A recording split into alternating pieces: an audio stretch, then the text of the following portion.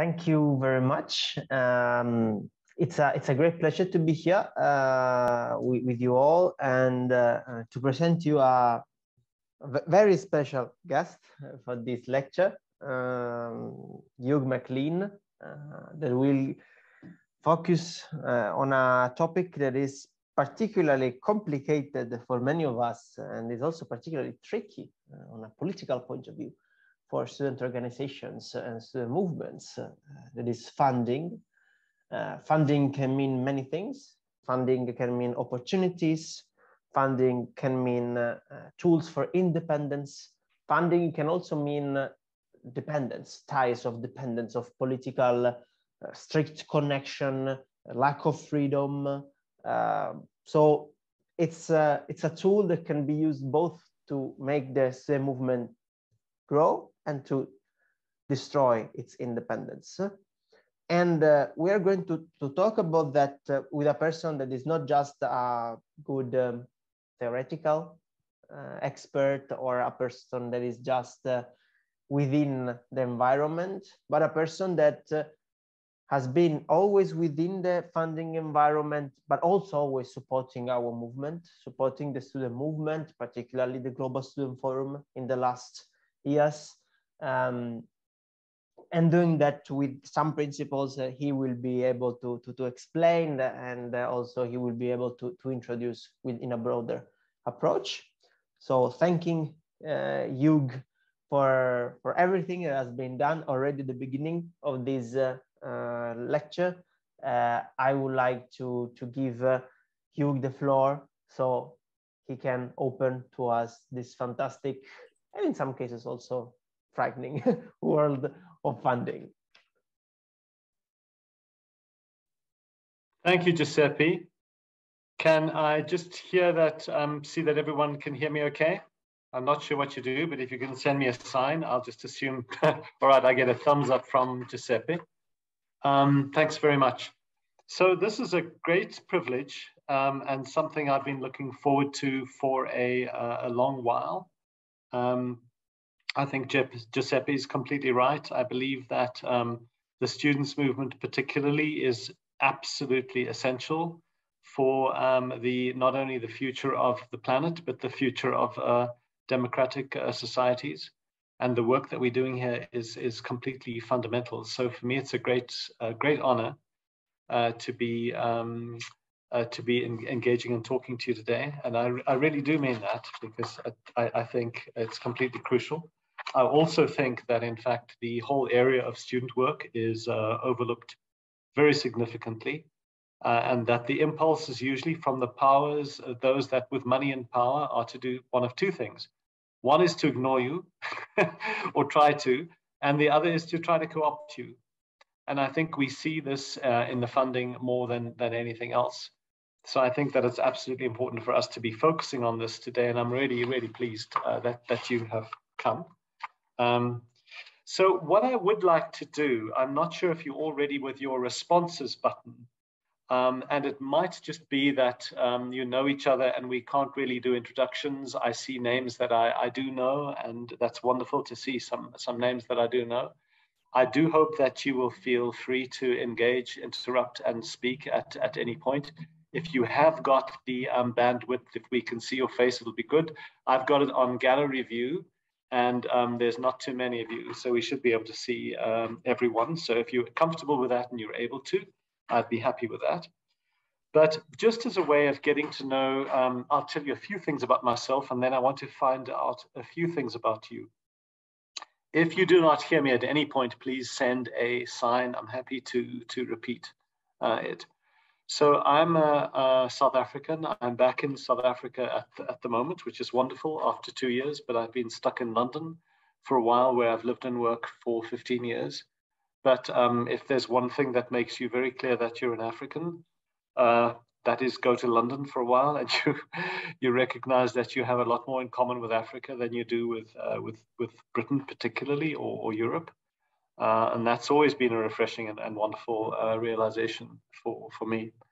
So it's good to be seeing you and speaking to you today. But I've been involved with uh, funding uh, ever since the early 90s. Um, and I've been working with the um, Open Society Foundations until last year, actually, and I finished my contract there, so I'm now a civilian. Um, and I shall be working as a civilian and an activist, uh, hopefully in this area for uh, as, as long as is possible. So um, that's, I think, probably enough uh, about, about me. Um, I just wanted a few things to, about you as as a group, because I think they're going to be quite important for the way we think about our uh, sessions. So if you're ready with your indicator button, um, and if you could turn your screens to gallery, if you go to view and just make sure it's on gallery, then we'll be able to see the flashing lights. I'm going to ask you a few questions so that I do know. So the first question I have uh, for all of you is um, how many of you are here from um, school students unions? Well, let's try the other one because that might be less. How many of you are here from, from universities or tertiary? Can you just give me a thumbs up for an indication or something on the signs?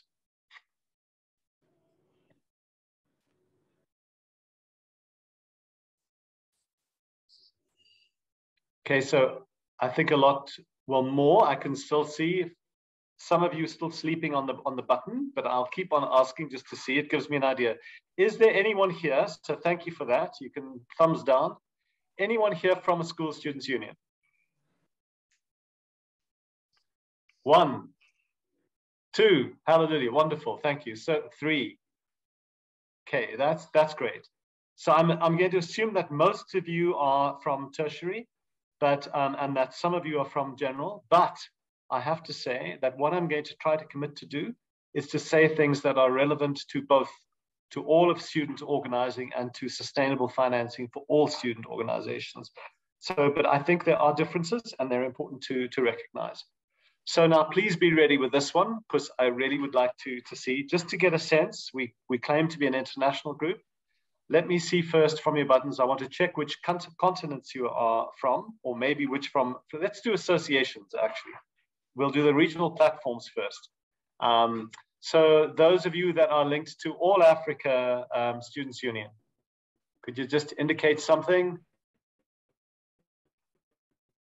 I see two, I see three, four, five. Okay, that's great. Six, do we have a six? All right, thank you. Um, those of you that are part of the Commonwealth uh, Students Federation, so thumbs down, let's see. Anyone from Commonwealth? One. Anyone else?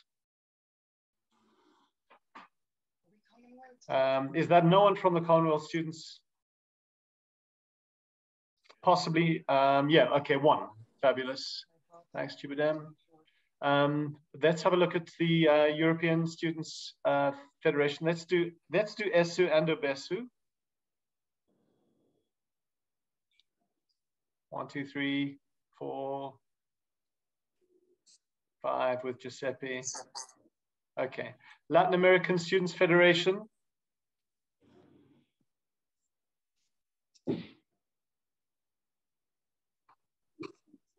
All right, no one from um, from the Spanish-speaking world. I'll improve on my Spanish. I hope by next by the next academy, I'll do my best. Um, and independent um, organizations and unions from elsewhere. Okay, so I'm going to assume I'm going to assume we mostly covered one, two, three. Okay. Um, anyone here from North America? Just by the way. Okay, one. Um,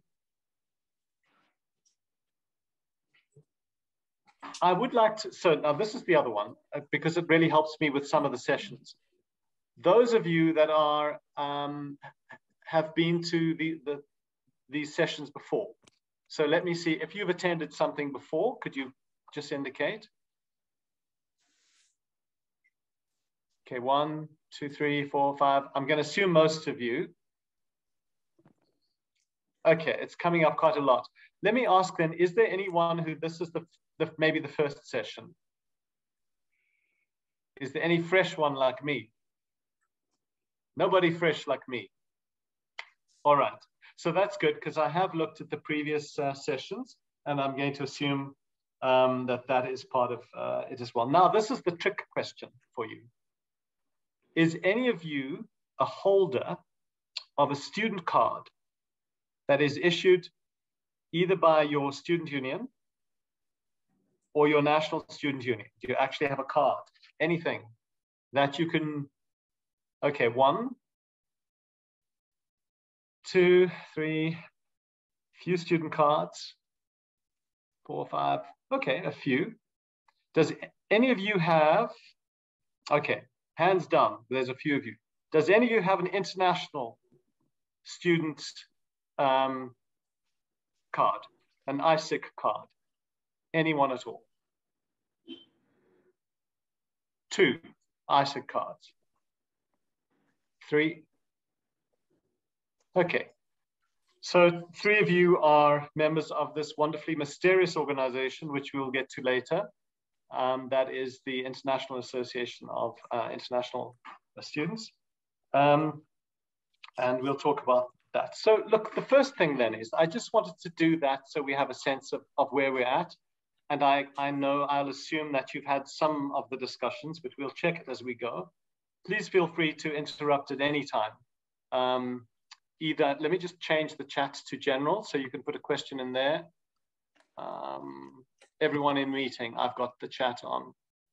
So I can see there, send me a question or just wave if you wish to do that. So I think the first thing to say is, is that um, I'm going to try to, um, given that we've got such a wide range of people here, I'm going to try to pitch this in very general terms. I know there's specific questions related possibly to your geographic context or to whether you're a university student or a school student. There might be different questions around funding. But I think it's really important for us to look at what are the broader questions that relate to, to strategy for sustainable financing because the broader questions are bigger than the immediate ones. The immediate questions come and go. There might be an opportunity with a funder that is here today and gone tomorrow. But for the student movement, the strategic challenge that remains is the question, how do we fund an independent democratic uh, student movement on its own, on, on, its own money to do its own thing? And the idea would be, what I would aim to do for the session is to try to identify some of those broader principles um, but I would like them to be relevant for your individual organizations. So whatever your student union is, to think of some principles that could be relevant for you, and I'd like you to look for that. But I think we're also asking the more collective questions or the questions about our shared responsibility. What are the principles that are important for your regional platform? Um, and what are the regionals that are important for students globally? So the, organization through the Global Students Forum what are the ideas and uh, principles there. So I'm going to put up my power slide now, but that's just by way of saying what I want to achieve with this system. It's um, with this discussion today. It's some of the broader ideas, but um, it is certainly um, um something that can be both um, relevant to you individually, but something that could be relevant to you broadly uh, as well. Um, can you see my screen? Giuseppe, I can see you, the face, I can. All right, so let me just.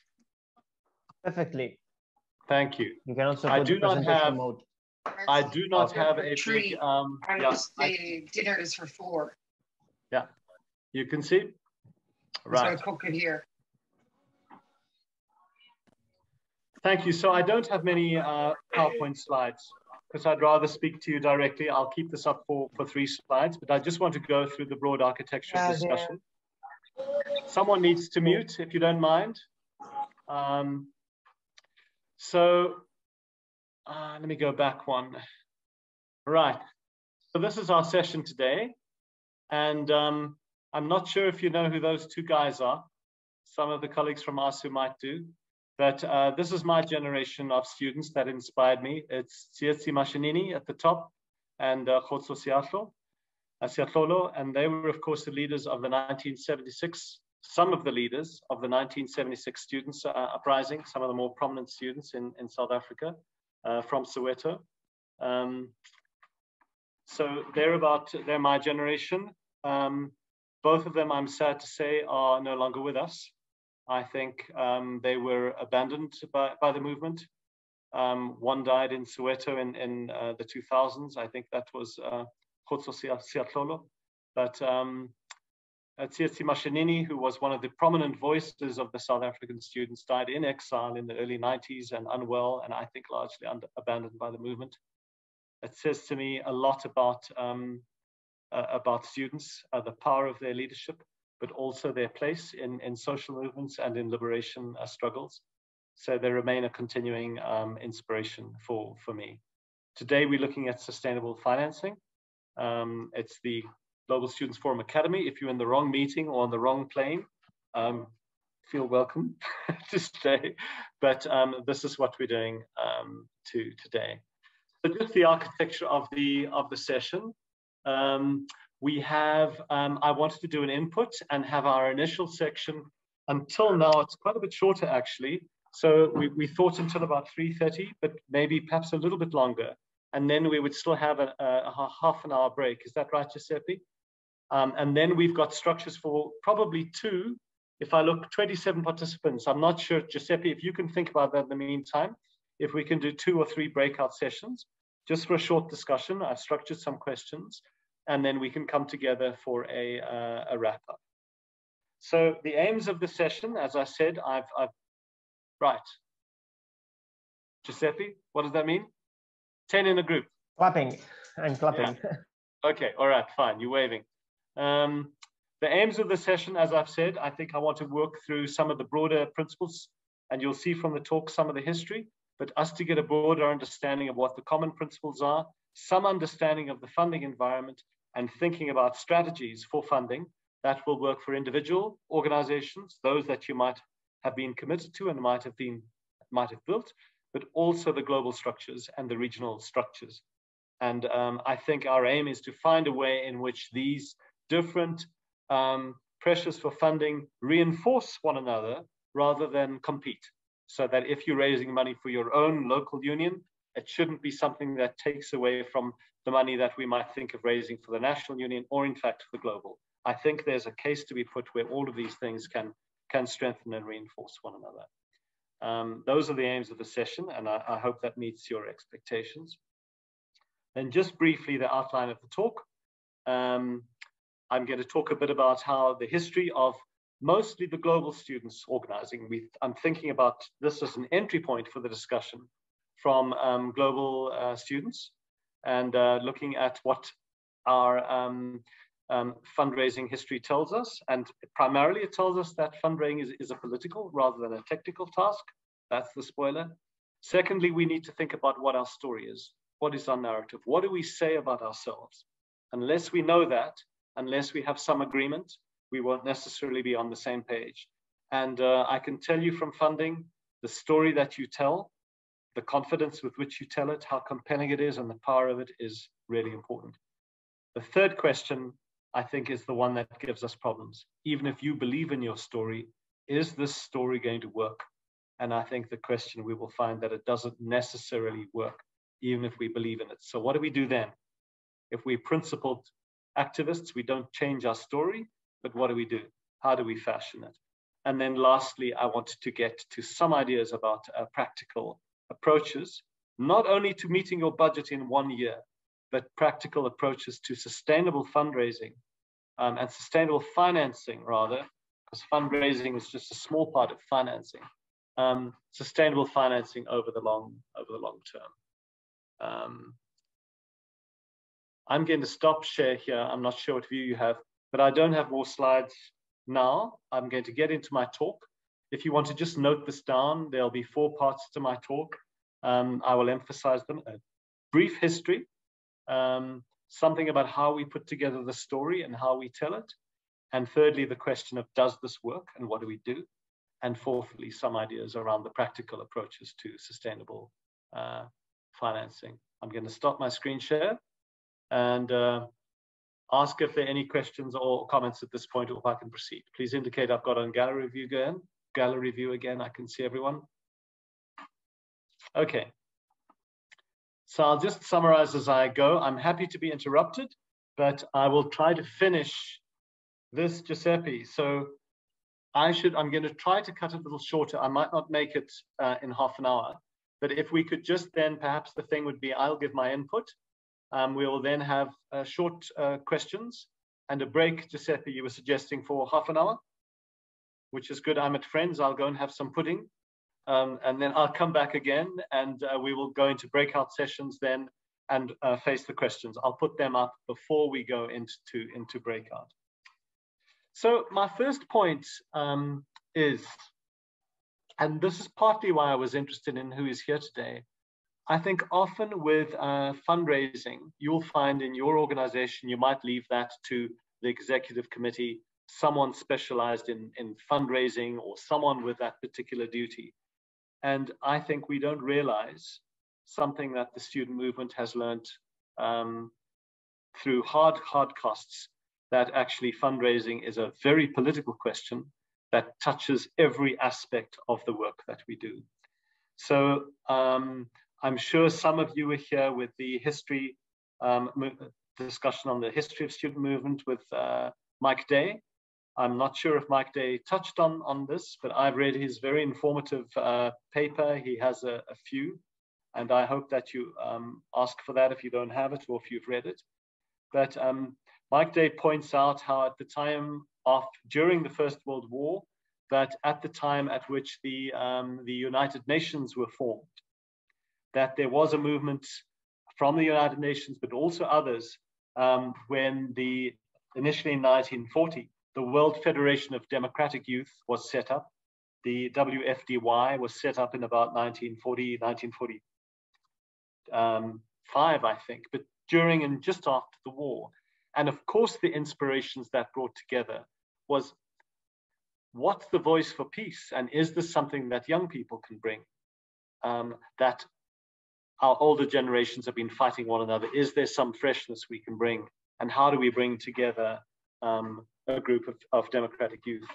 The first student structure that was set up and opposed, I believe, by Stalin because he thought you'd need to have a, um, a, a student, he thought the student unions were a bourgeois idea but um, the International Union of Students was uh, set up um, in 1946, and it was based on the same idea. Is there something that students share? Is there a conversation we have? Can we build a more peaceful world if we get to know one another? And if, in fact, we're able to visit one another, get to see one another, if a lot of the earlier student stuff for me was politically very naive. It was about if we visit one another and get to know one another, can we in fact do things that are, are similar? But the point about those initial movements, of course, is that they were unable to extricate themselves, I think, of the early politics of the Cold War that was just emerging after the First World War, at the time that the British Empire was collapsing and that we were seeing national liberation movements uh, all over Africa and the, the colonized world, and the time at which the colonial powers, the old colonial powers, were really in decline and you had strong powers, of course, Russia and America, then who considered that they'd won the war on behalf of everyone else, vying for influence and, and power. And the worry was, if I look at the funding, the um, first applic- one of the first applications for funding for um, the uh, the first the first student meetings in the Czech Republic, first of all, the British students wanted to organize a meeting for students just after the um, the World uh, Federation of Democratic Youth Movement in, in 45. And the British Home Affairs Office was very reluctant to give them money. They asked for 1,250 pounds, which I think was about 75,000 pounds in today's money. So a comparable amount, you know, for a national meeting. We'd be looking for something perhaps a bit smaller, but they wanted that amount of money. And the British Foreign Office was very worried about the influence of the communists. And for the whole 40, the 1940s, there was this, a lot of the unions from Western Europe were involved because they were in, attracted to the idea of unity, but they were very worried, at least their foreign officers were, very worried about the engagement and the strength of students from the former, from the Soviet republics, but countries like Hungary and the Czech Republic who were leaning towards joining with the, the communist bloc then. So the geopolitics of the area determined everything all of the funding, of course, came from governments and, and foreign governments. Um, and only later on did it come through foundations, but that with a special twist. So there was very much a political agenda. But you could see that all of those student meetings that were set up were actually very high profile, high profile in a way we haven't been, which is in some ways a bad thing, but mostly I think a good thing. There were, you know, people went to student meetings in um, in the Royal Albert Hall and shook hands with the Queen um, because she came to to greet one of the student meetings, and they've had heads of states or people linked to to ministers to to, to governments at those meetings. We're a lot lower profile. Um, the early student structures were, of course, also, also adopted by UNESCO. But I think the important thing for this discussion is that it's really clear that there was very significant engagement of geopolitics right through the 40s, with the Home Office being particularly, and the Americans that were coming in with funding, uh, and the Dutch and some European funding, were very worried about the influence of particularly Czech Republic, Hungary, and the USSR and uh, China and very worried about that.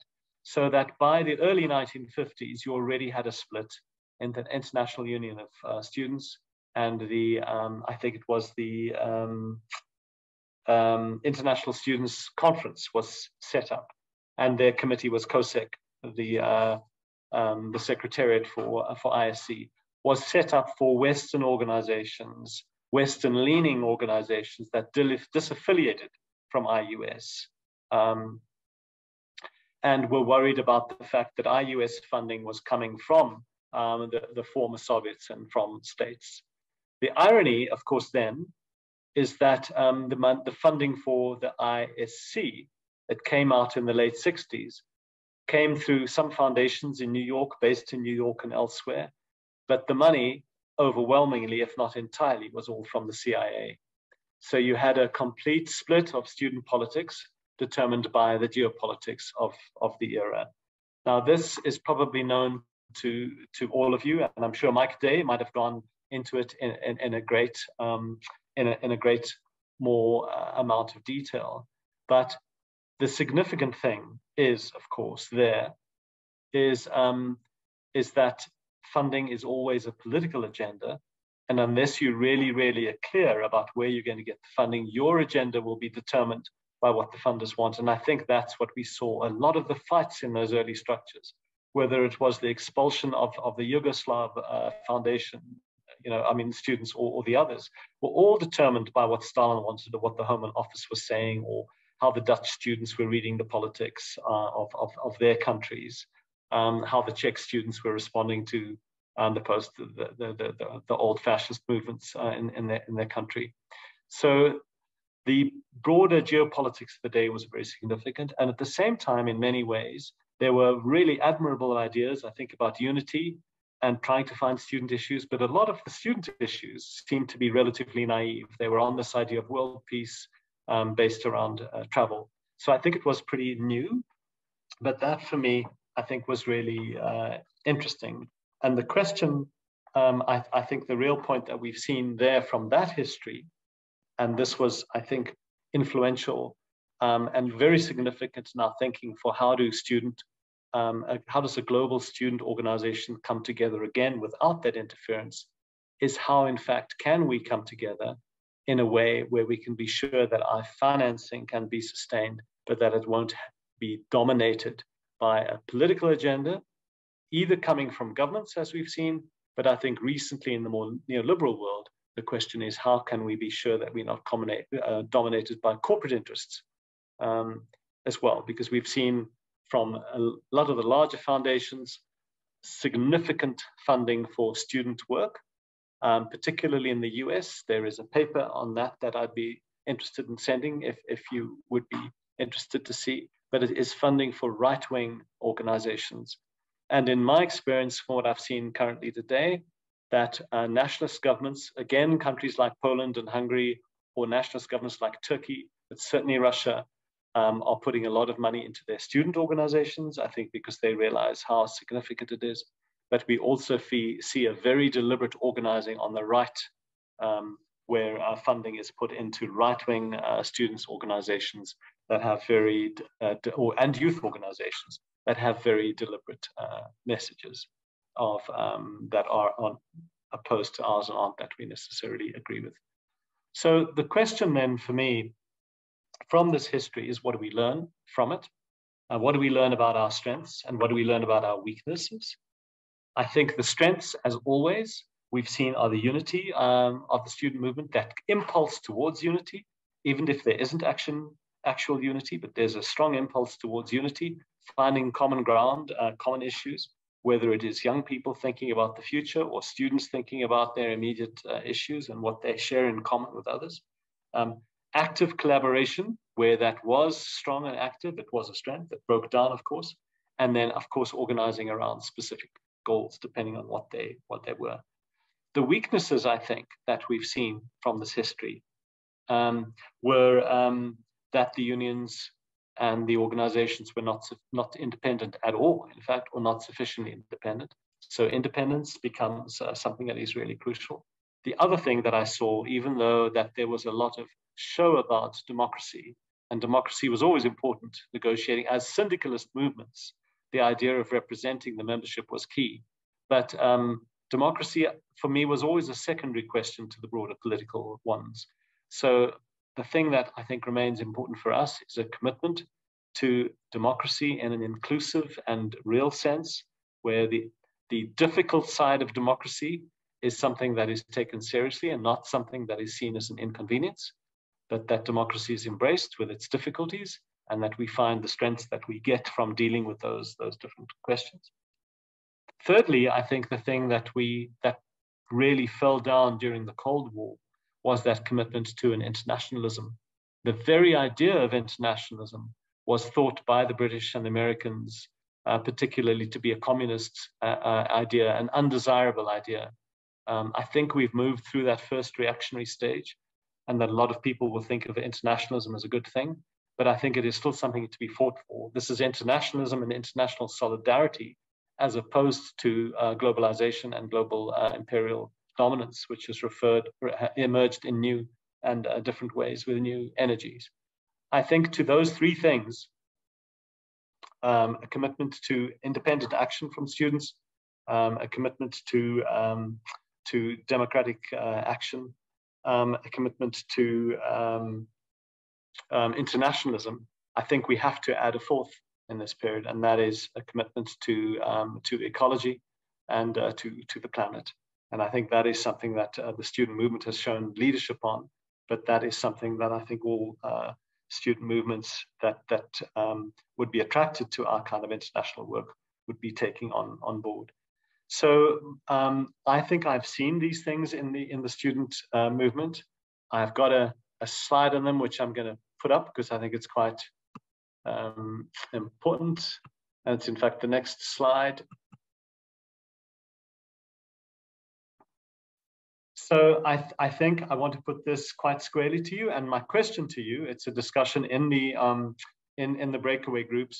Are these in fact our core values? Is there something we're missing? Or does this uh, provide a basis for us to think about a strategy for funding? So independent leadership and actions, independent movements, in fact, the question of independence is fundamental. Democratic practice and inclusion, democracy, international orientation, internationalist in our orientation, and, and, and solidarity, international solidarity, and then commitments to ecology and the planet. I'm not sure if you're covered up as I am, given that you're seeing my screen, a bit covered up on that side. But um, these for me, you can see them. These for me, I think are the four key things. I'd really like you to think about that, not just take it. There might in fact be something I'm missing, but you might say, no, actually, three of those matter, two don't, or three matter, one don't, or there's something you've missed. Think about that for the group discussion. But um, my proposition to you is that this is quite fundamental to the story we tell about who we are and how we think about who we are when it comes to, to raising uh, funds. So this has been fundamental for uh, GSF uh, from the start. I think our experience has shown us actually that this is not necessarily a story that appeals to donors. There should be no surprises there. And I don't think that there is a, um, it's something perhaps we should expect that as much as we think this is significant for ourselves and for building, the same story is not necessarily going to convince the donors. I think for um, for the for the present period, certainly the Open Society Foundations in the past, where it goes in the future, I'm not sure. I'm not longer there. This appealing, this story was appealing for Open Society Foundations and a few others, Wellspring Foundations and a few others. But this idea of, of affirming the idea that the agenda belongs to you and that the best thing funders can do is to support you in your agenda. That for me is a wonderful uh, reflex. I don't think we can take that for granted anymore. I think some of the larger funders actually mistrust that in the same way that the, that, that, that British uh, Foreign Office um, and the Home Office distrusted internationalism in the 40s. This idea is a step too far for many uh, um, of, the, of the current funders.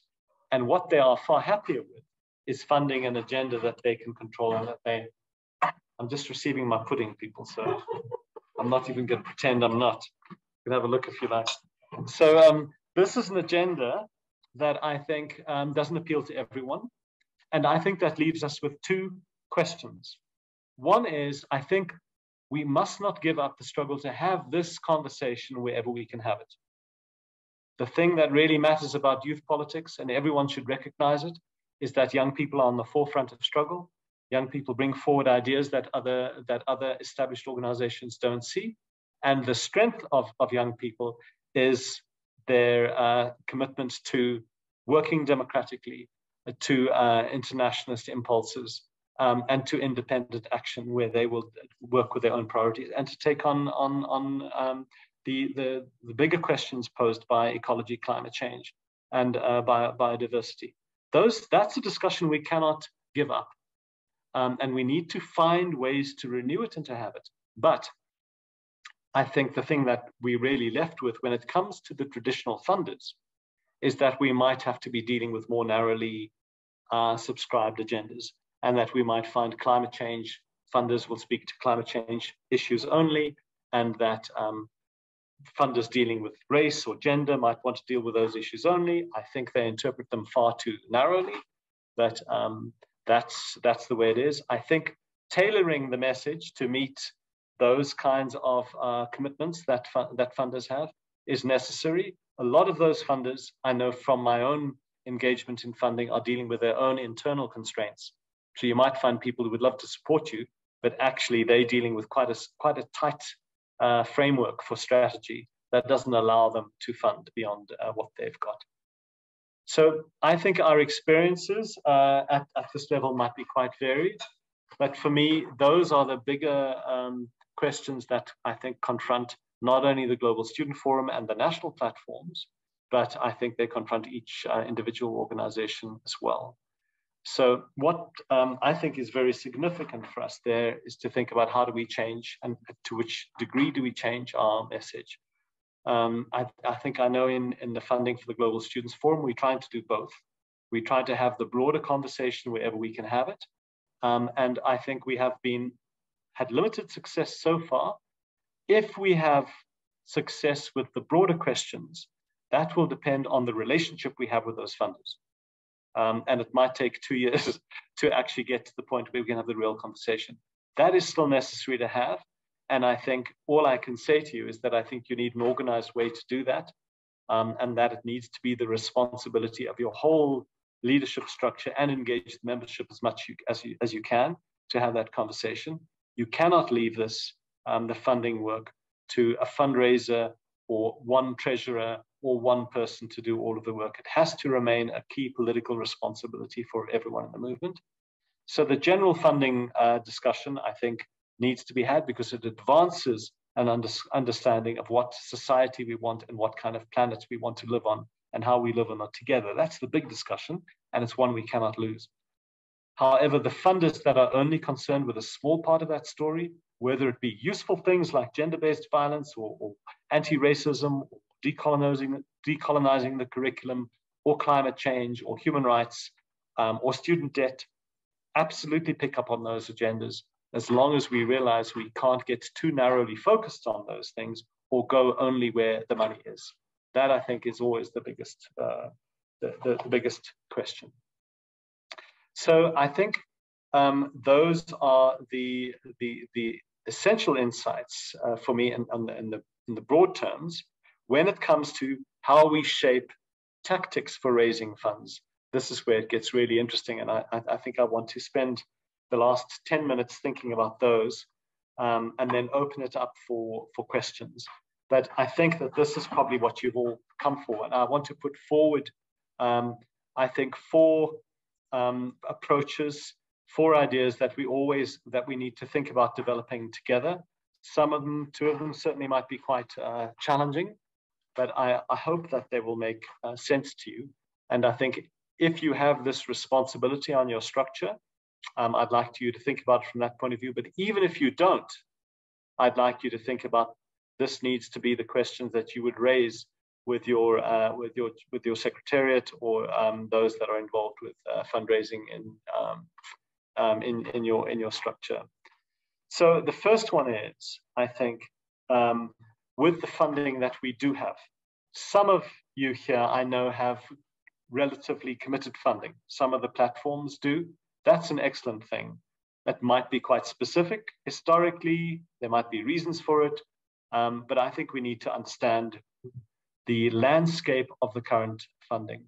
And I think what we need to put forward as a suggestion for our structures, but possibly something we can do collectively, is to look at that in closer detail. I think we need to look at the funding that we that does exist. I think we should be doing that uh, that work together, uh, putting up a, together a project where we can look at our funding that works at a global level, at a regional level, and at more local levels, and ask who are these funders that are committed, why, and what do they want. I think it would be very good for us to map and understand that. And then the questions there, the strategic questions there, are how can we take that conversation a step further? Is there a way in which we can develop that conversation so that we can be more um, assertive about the agenda that we want and be sure that we're not following an agenda that they might uh, want. So the first one is absolutely do not uh, neglect at any point the traditional funding base that you do have. Spend the time with the funders that you have. Develop the human relationships as much as the reporting on paper, but develop the human relationships that will sustain that. I think that will remain key. It's just absolutely the way things work. The second one I think that we've learned and that we have yet to open up and develop uh, as, as at the level of the, the, the, the, Global Student Forum. Some of you might have experienced this on the, of this on the regional platforms or with your, um, your, your um, um, individual organizations, and that there might be uh, dedicated funders funding specific issues. They might say, yes, we like what you do, but we can't fund all of that. We only do climate change, or we only do gender issues, or we only do uh, health related issues. And, and um, and I think that um, the important thing is to have an approach to that funding where you can pull in the people in your ranks that have some expertise and some knowledge there, use them to work on that, but make sure that that doesn't dominate your whole um, agenda. I just had a very important question from Jenna Berry. What's the pudding? I don't know. It's kind of cake and cream uh, and I hope it's got alcohol. I don't know what it is, but it looks beautiful. It's pink. So I'm going to get to it in a bit. Um, so I, I, think the second one is the, the, the, specific funders that will only fund smaller things. Absolutely go with those. But the important thing for me strategically is not to get hijacked entirely by that agenda. If funders are funding climate change only and it's let me tell you it's a disease that seems as much as, as co contagious as covid it's a good thing but I, I i'm not sure that will last you know it might do but there's uh, I, I, think a pretty um, intense commitment to climate change and a lot of funders just want to do climate change and nothing else so the idea is to engage with that without letting that become your whole uh, agenda and you have to find a way to keep uh, uh a step a step or two ahead there um, the third one that I wanted to remember, I think that I wanted to mention, I think is going to be the more difficult uh, one. When uh, Haldis uh, Holst spoke to you, I think she spoke about the um, your, the syndicalist tradition and what you might have in, in common with uh, trade unions. Um, and of course, what we know is, is that trade unions are employed and people are able to put money, their own money into their organizations, and that's what gives them their independence. As membership-based organizations, I'm not sure we can get away from that. We all know that students are unemployed, but I think the, the strategic question that I want to put on the table here is where we have regional platforms or individual uh, platforms that are raising money for student work. Is there an argument that we can put forward to say, can we put forward a small percentage for international collaboration and work? I think that that will not only strengthen the international work, but it will strengthen the local work. Um, I think we've seen with all of the best student work that it is strong as it is strong on the local issues, but also in as much as it is able to act in solidarity with other student organizations and struggles elsewhere, reach out to them and make those kinds of connections. The only way you can really regenerate the, uh, uh, the, the, struggles that you have in your local level is through speaking to students with other struggles elsewhere, learning from their victories, learning from their, their defeats. So that internationalist work is very important. And I think that there might there needs to be a conversation that we can start and continue about how we can find ways to sponsor, even if it's very, very small, but the work of either at a regional, but certainly a global level, by putting forward from all of the membership quite small amounts. It doesn't have to, you don't have to fund all of the global work, but if you are funding a portion of it, it puts the global structure in a strong position to say, we raise X amount from our membership, we're looking for more funding. It's a very, very different uh, conversation. Um, and also it would hold the, the global structures far more accountable if you're able to do that. So there might be many and different ways to do that. I don't think only one way to do that, but I think it's a conversation that we need to keep having until we find uh, ways to do that. My um, um, proposition there, I think, is that if our strategy collectively is to improve the environment uh, for funding students' organizations overall across the board, that putting money aside for the international work is something that is a direct contribution to your own work and not something that is there in competition. So that's the third uh, area. First, um, develop your, your, um, your established funding base, the conventional one, develop it. Third, look for funders that are focused on specific issues. Find a way to meet uh, what they want without giving up your broader commitments. And the third one is, is there a way in which we can contribute to one another, essentially, not only in terms of work or like the academy such as this, where we can come together and share, but is there a way in which we can share um, a, a, portion of our finances to strengthen our common uh, and shared goals uh, globally and, and regionally? And the fourth one, I think, is an area that uh, will also take a lot of developing, but for me, this is how else can we raise um, how else can we raise uh, funds?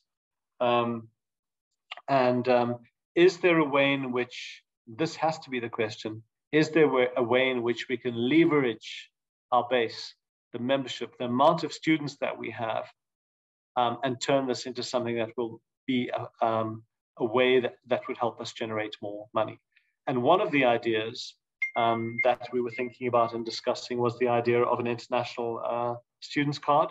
Possibly that might have a deal with a bank and look at discounts for travel and discounts for things, cover advertising for certain companies, but in ways that is controlled, uh, I think, by the student movement and provides some funding uh, for the student movement at the same time. So it's a step into a more, at one level, more commercial uh, direction that deals with sponsorships and, and vouchers, um, but something that is able to provide a, a portion of um, money for the student movement. Now, interestingly here, um, if we look at the history, the ISIC, the International Student uh, um, Identity Card, um, still exists and seems to have a deal with about 140 countries. It's got a partnership with uh, MasterCard. Um, it's linked to a range of travel companies. And that if you have this ISIC card, there'll be discounts for all sorts of things on travel and, and things as well. It's very hard to tell from their information how they're constituted, whether it's a company, it seems to be an NGO, but it's really hard to tell where their money is, how much they make. Um, there, I've looked at their records. They seem to have a turnover of a few million um, every year, but that may or may not be all of the money. Um, I think so. The question that we have is, is that uh, um, is that something a group we should be looking at developing a relationship with? Do we set up a, our own international credit card? Are there other ideas that we can use? Identity card, rather. Are there other ideas that we can use that provide some sort of um, um, benefits for for members, but at the same time generate um, uh, generate uh, um, revenue in some way that really leverages the membership and affords the the um, the student organizations le the level of of independence and autonomy that they wish, as well as the um, resources that they need to build the movement uh, going forward. So um, that's my brief input. Um, I wanted to pause at this stage to see if there were questions uh, and ideas.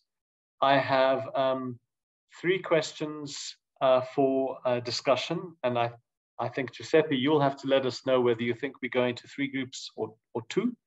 Um, but I'd like us just to address those questions and then come back and debrief.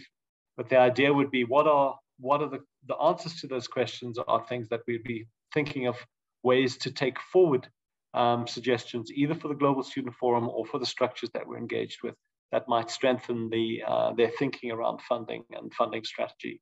Um, so that's what we'd like to achieve. Could I just see if there are questions or comments at this point?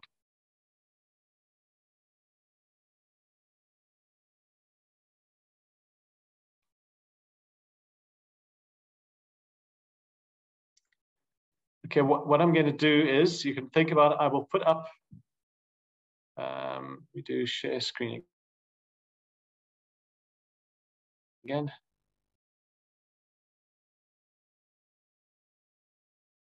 So that's where we left it. Um, look at the four values because the four question is on them. The four, the first question is on them. Independence, democracy, internationalism, and uh, commitments to, to the planet. Those are our four, four values. Are there others? The session questions I wanted to put to you. Firstly, is that are these the core question, the core values we share? Secondly, how can we ensure that raising funds for regional or global work doesn't compete with raising funds for individual or member organizations? And the third question is what practical ideas do you have for improving the overall environment for funding student organizations. And this would include GSF individual member organizations, as well as the regional and global uh, structures. Um, so we'll come back to those three questions. Um, I'm not sure if you want a minute just to note them down, but I'll put them up at the start of the, the next uh, section as, as well. I'll stop screen sharing now. I also noted them down in the chat in case someone wants to. Also, um, if I may suggest, um, I would like to suggest to take the break now so that uh, we can go into the, um, but do, do not disconnect. My suggestion to everyone is to not disconnect from the call so that we can then come back directly to the breakout rooms if there are no questions right now. Of course, please feel free to make questions directly to you right now and then we go in these breakout rooms uh, and I will also again screen share the, the questions from Hugh. Uh, Hugh will do the same in, in the other session, in the other um, breakout room. And so we can have a bit of discussion. Uh, I don't know how long, I don't know, do, do you want to, to keep it 20 minutes? Half an hour perhaps, yeah. half an hour and then come back. And then we come back to the plenary uh, all together so we can have a bit of, uh, of exchange. We will have uh, maybe um, a person that will report from each group, and but also the others will be free, of course, to to comment. Um, so that's how I would suggest to proceed, and now take a 20 minutes, uh, half an hour break if uh, no one is. Did we decide on a, an exact time, Giuseppe? Um, 25 minutes would come bring us back on the hour. Is that all right? Perfect. So we... it's three. So we will yeah. be back at three in Central Europe. and we finish, um, try to finish uh, um, one hour after that, 30 minutes plus discussion and then a, a, wrap up and we finish an hour later. Okay? Sounds perfect to me. What about you? I hope the others also agree with this bit of schedule. So I hope there's no active opposition to it. Thank you, Wessam. So, okay, I suggest to everyone not to, to disconnect. Um, so stay connected. Just uh, let's turn off all the mics and the videos, and then uh, we will be back at uh, 3 Europe Central Time in 25 minutes from now. See you in a bit, and thanks again, Hugh.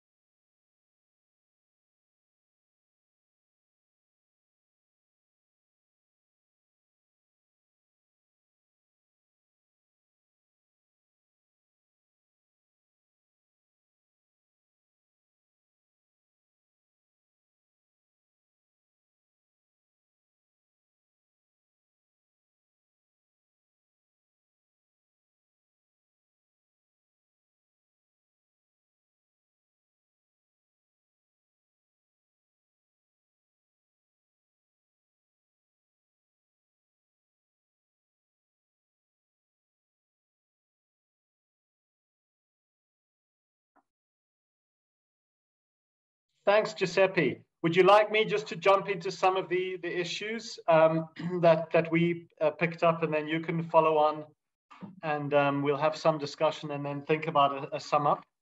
So of in course. some way, thank you. But predictably and thankfully, in a way, we didn't stick to the questions as a one, two, three. We kind of came in firing from all sides.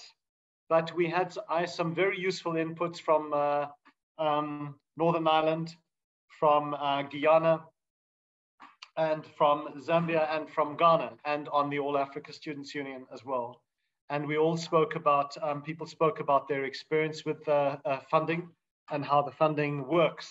So it was very practical, actually, but really, uh, really interesting. Um, so first of all, on, on the Northern Ireland side, I think what, uh, not only Northern Ireland, but the whole of Ireland, right, Jenna? But um, I, I, think the thing that's significant, oh, I forgot about Denmark as well. We had Denmark as well as Ireland. Um, so the similarities there, of course, I think is, is, the, is the depth of the, um, the institutional support at that level and the fact that there is um, real contributions made to, to student work and to the national. And the situation's almost reversed, is that the, it seems as if there's more money at the national and that goes to some of the um, monies allocated at that level and it goes to some of the, the, the individual unions. So there is a structure for that. That's the point. And I think that's, that suggests to me, as the other examples showed that we dealt with, that in fact, there is something to talk about with the MOUs, with the arrangements with governments and with the acts, that there might be space for advocacy and discussion there to think about not only how individual organizations are funded, for improving those mechanisms, but also for potentially raising some of the questions of the importance for an international exchange. Is there a way to have the conversation where we can start to build these into the initial agreements and think of um, ways of, of funding the, the global and, and, and the regional work in, in more structured ways? So the um, African examples, of course, were also very uh, illuminating, and it does seem certainly with Ghana, but also with um, um, the experience of ZANASU in, in Zambia, that there actually is an, an active engagement with uh, government. Ghana particularly has been active in supporting ASU from the time of, of the revolution, uh, independence revolution of Jerry Rawlings, but it seems to have remained, um, has paid salaries for um, um, the for members of the Secretariat in All Africa Students Union, but also unlike the, the, the, Cold War and the, the British and, and, and, the Russians, has been less uh, um, in, in, in interfering in its engagement with uh, the, the, political directions, I think, that the, the Students' Union has taken, which is really good. And then apart from the core costs that come, um, additional funding is raised um, um for, um, for issue-based um, issues. Um, Delissa was there from the um, Ghana National Guyana National Students Organization in, in the Caribbean, which is relatively new. Um, and Galissa is having Delissa is having a lot of discussions with government partners and working through some of those dynamics, and that was really interesting. But it also struck me that there is clearly room for a lot of exchange between members, because a lot of the, the established experience in countries like um, like Ghana um, and and Zambia and Denmark and, and Ireland could be of interest certainly to Delissa, but might be useful for her in advocacy for the, um, the National Students Organization. Um, there as well. Um,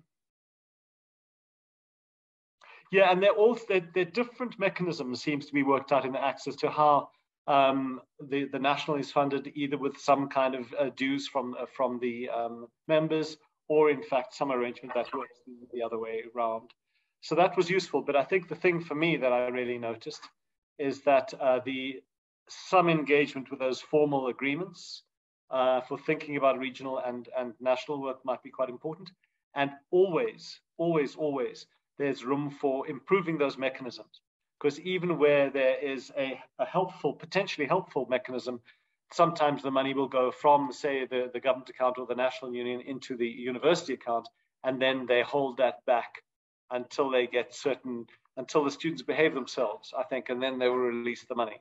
So that I think, if if there's one thing that GSF could do, is possibly think through some kind of joint program to think of policy at that level, um, that we could think of policy changes that would improve those cash flow to strengthen the kind of independence that we that we have, but also to think about these kinds of, of arrangements for funding um, student bodies in countries where they don't exist in quite the same way. So if we could model best practice there and particularly do that, that might be quite good, you know, I think to do.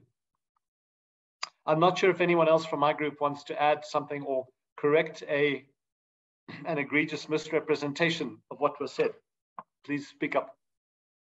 No, that's good. Thanks you.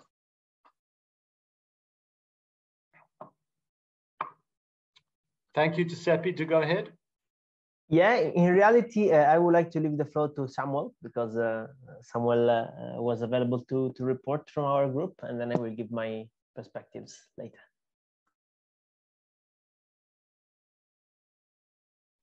Yes, um, thank you, Giuseppe. So um, largely for our group, I mean, we, we, we understand how, I mean, the issue of fundraising is for almost every student team um, I mean, for tons of reasons. So looking at um, the first question about um, the core values, whether they reflect the, the, the value of every other student union as a member of the GSF or as a member of the other student union, for instance. Um, we do agree that largely some of these, uh, most of these core values do reflect, but may not necessarily be applicable to all because I mean, it may not be a priority for almost every member union to, uh, even though it should be, but um, I mean, some may not necessarily um, consider, for instance, uh, uh, protecting the climate as a key issue, right? As maybe they, they want to prioritize the, the, the, the, access to higher education or perhaps poverty alleviation or uh, the alleviation of hunger and other issues. And then on question two, um, we also mentioned that um, in trying to ensure that, I mean, it doesn't necessarily become a competition uh, to access funding between, let's say, the all uh, regional student unions and then the global students forum and, uh, um, and then the member unions. One thing that can be done is that we try to really um, align the actions of the member unions together with that of the regional unions so that um, in applying for funding, the, for example, ASU is able to understand that this member union needs these kind of opportunities or this kind of funding opportunity to be able to address these issues. Then the um, ASU can access and connect the local union or the member union with the funding opportunity. And then also the, uh, the All African Student Union, for instance, can also allow um, uh, guide member unions on how, how to be able to access some of these fundings so that uh, it does not look like uh, we are in competition for the same kind of funding to do sort of, I mean, the same kind of job. Then, I mean, largely it's, uh, it's that defeats the purpose of uh, working together. And we we also indicated that, uh, for instance, the Global Students Forum, I think, uh, should also be able to open up and then, uh, I mean, open member unions to funding opportunities that would help them also um, address local actions as well. Thank you.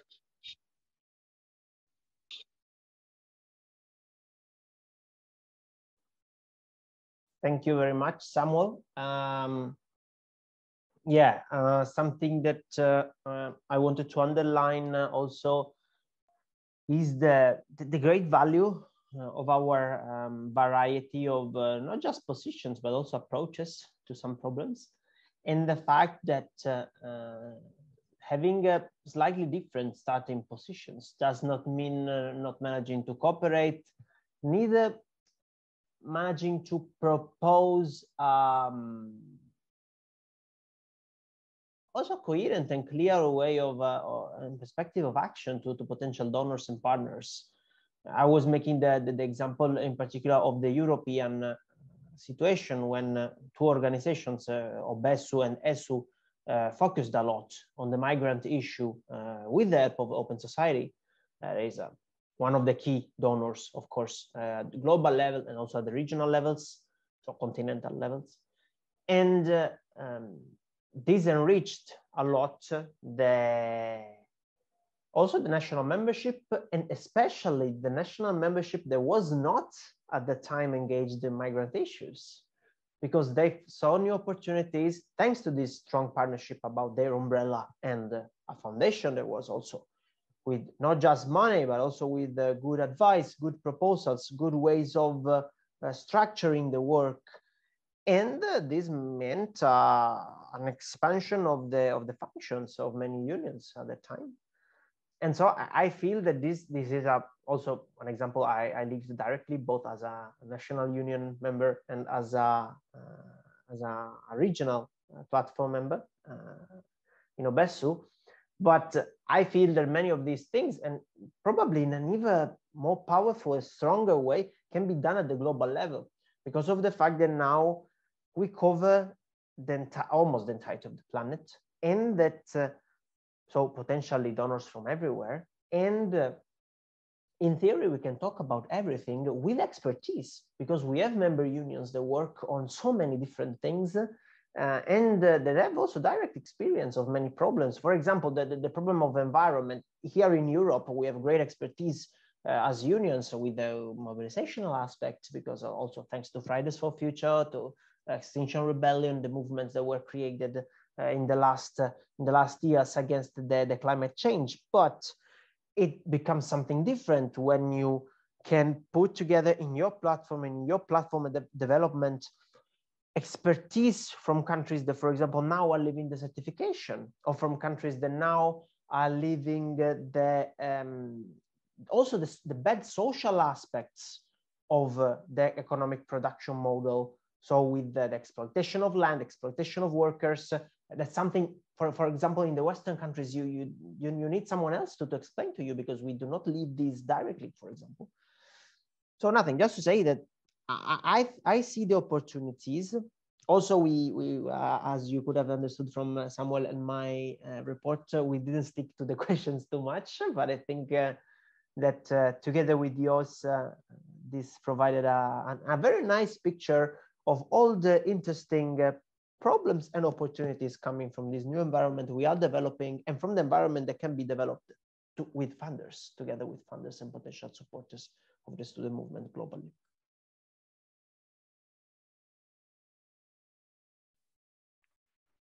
Thanks, um, uh, Giuseppe. I, th I think, um, and Samuel for that input from that group. Bismarck, I think we're going to move on to, because I know you from our group, so we're going to move on to um, questions, comments, filling the gaps. Um, do jump in, Bismarck. Nice to hear from you. Yes, thank you, Hugh. Uh, I just want to um, pass a comment and to sort your thoughts on this. A lot of student unions have very ambitious projects. For instance, they, they promise very huge projects and uh, to their uh, constituents when they are campaigning for positions, especially at the presidency level. And so when they come into office, they are under, under pressure to uh, deliver. And most often than not, the, the dues or the levies they, they, they receive from these students that are paid to them from their students, um, either from the university level or the national levels, are not enough to undertake such projects. And so they are forced to sort for seek funding. And most of this funding it's readily made available to them by political uh, officers, people in the national politics, say the political parties, uh, their general secretaries, who want them to uh, um, want to leverage on their students' um, numbers uh, to retain political power.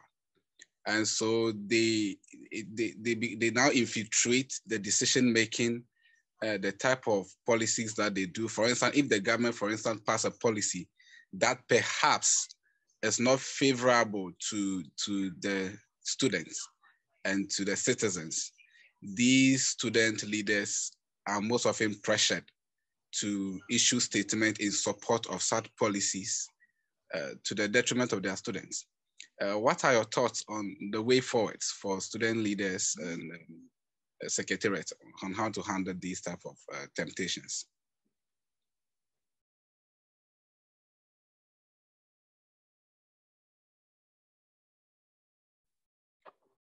Thanks for that, uh, Bismarck. I'm not sure if any others want to come in. Um, is that a clap from Giuseppe or not a hand up? Um, I have a few thoughts on that, but let's see if anyone else um, does want to come in with contribution or questions at this point.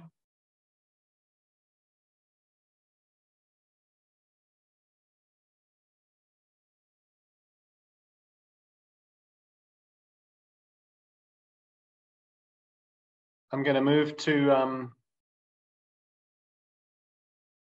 thinking about our last moves. Hold on a sec. Um, look, I'm. I think this has been very rich. I, I think the first thing that I, I would note, um, picking up on, on some of the comments, is that I think we do need to do more joint work, and this needs to be shared work. Um, and I, I still think, as I as I started off with the assumption, that there is a an important link between um, the kinds of your individual arrangements, peculiarities, victories, challenges, and the challenges that we face uh, at the level of how to fund the global platforms or how to fund a regional uh, uh, platform. I think that that's quite important, and I still think that there's a shared bit of work um, that needs to be done to understand the environment fully, um, and that to um, and to to to change the environment so that it is more open to funding students' work.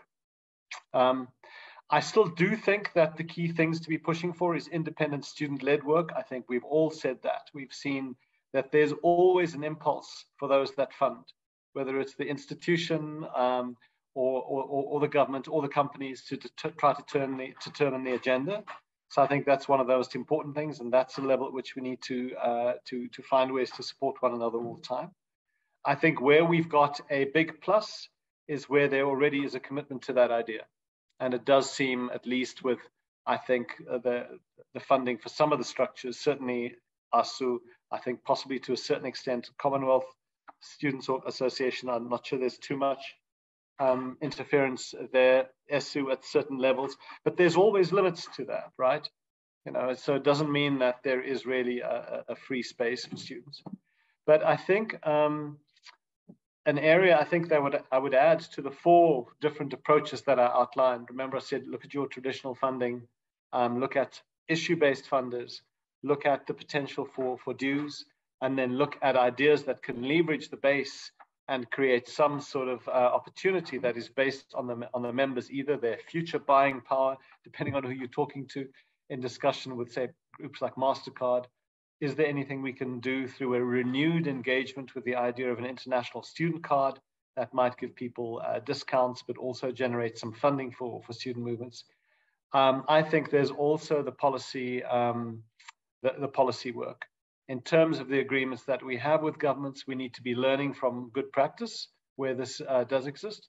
But I think it might be that GSF can we can find a way to to support a more serious bit of work on on that, a description of some of those arrangements, so that um, we have a resource we can draw on, and that people like Delissa, who is leading a new formation, a new structure, and speaking to a government, is able to draw on the experience of the student movement more broadly across the uh, across the, the, the, the, globe to say these are the kinds of things that are, are done else elsewhere.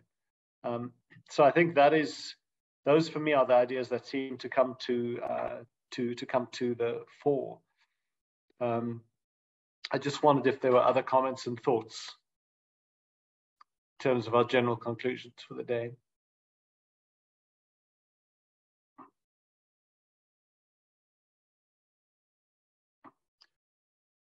Gideon, do come in, Gideon.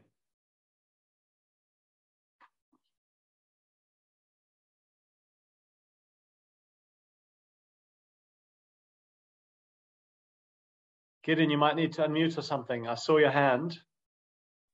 Yes. Um, Thank you. Can you hear me now? Yes. I first want to I want to add up to I want to attempt the question posed by Bismarck and to acknowledge you for having well answered the question.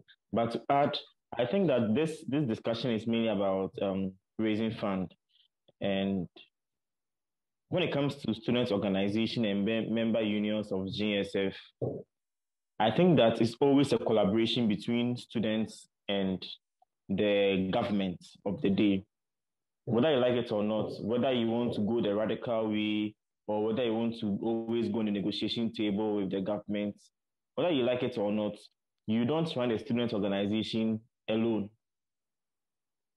And so the, the state is always a major stakeholder. So for me, even if you are taking dues and members are paying the dues on time and the dues is even enough to run organization, I think it is very okay for the government or for the state to help the student unions or the student organization the problem is is about the leaders.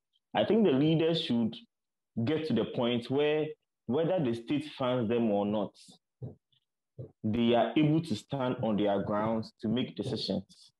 Like during the the breakout session, like you, you, you rightly said, someone indicated that the government of Ghana has been paying the, um, the, the has been funding the Secretariat of ASUU all these years. Yes, does that mean that if the government of Ghana is doing something wrong against students of Ghana, ASU cannot stand up against the the state of Ghana just because it is the government of Ghana that pays the officers of ASU?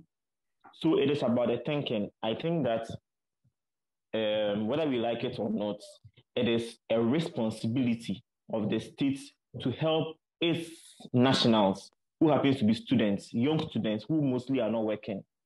And so we can't say because when the state funds you, or of course, eh, the government is always a political party that wins power. So whether a president or not, he's, he's still from a political party.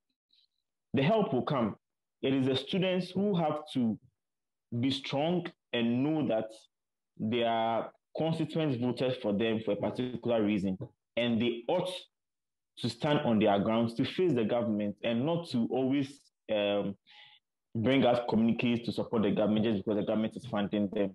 So, as far as funding is concerned, the government of the of every nation ought to fund those student unions, but that should not be a reason for those student unions to side with the government or with that particular political party just because of those funds. Thank you. Thanks for that input. I think we'd all agree. Um, part of the problem becomes when the government isn't quite good-willed. So it's good. I mean, you have a good experience in Ghana, and I think the Ghana Ghanaian experience is a bit exceptional. Um, so you might, I'm sure you have your complaints about the government, and I'm sure I can think of my complaints about the government. But actually, in this respect, uh, it's a relatively positive experience. So we'll see now, even for instance, in in in the um, the UK, for instance, which tries to present itself as an open-minded and liberal dispensation always, has always been opposing um, independent um, student work. At times, it'll provide something and some funding, but we're at a moment in the UK now where I think even the independence of the of the BBC, which has presented itself as a an independent broadcaster, is turning itself into a government mouthpiece. So the student movements are either strapped from from by, by cash or find themselves in a in a tighter narrow space. I think there's still quite a lot of independence there, but those days might well be limited. So I don't think we can trust governments to always follow that democratic impulse. But what you point to, which is really interesting, is that it's a question of the health of the democracy of the whole country, actually, and which is why student movements and student politics can't stand aside from engaging with uh, strengthening democracies inside their own uh, countries. So the tactics and the battles and the and the, the campaigns that student union picks, student unions pick, do need to have an echo with the broader population um, in in a way because it is a question of the health of the national uh, democracy, I think, as well. But thanks very much for that input. Um,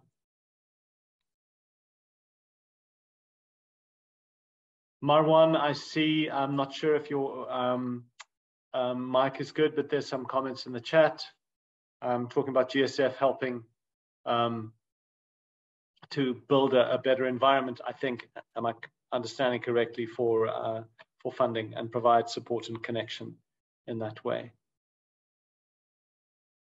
Colleagues, thank you very much. Are there any other comments and uh, thoughts? Let me just remove share screen so I can see you all.